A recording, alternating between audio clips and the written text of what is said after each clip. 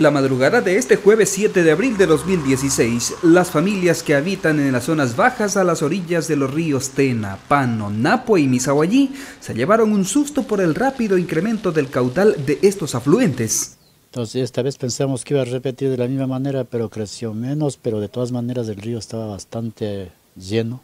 Las entidades de respuesta estuvieron atentas a esta emergencia y lograron rescatar los bienes del sector Las Sogas de Tena, el coronel de policía Ramiro Andrade destacó las acciones ejecutadas como parte del plan de contingencia activado tras la declaratoria de alerta naranja por las lluvias en Napo. Felizmente hasta la una de la mañana el río empezó a bajar el caudal, igualmente la lluvia. Sin embargo seguía la alerta en los lugares como Estalag y Aguano, los comités de operaciones de emergencia trabajan también en acciones preventivas. La jefa política de Tena, Lucía Rodríguez, asegura ver los resultados al tomar las siguientes acciones puntuales. Evitar construir viviendas en los 50 eh, metros que son considerados como riesgo. En esta temporada invernal, evitar estar en estos sectores de riesgo. Por su parte, las familias que habitan en las zonas de riesgo piden que se refuerce el muro de contención construido tras la inundación de abril de 2010.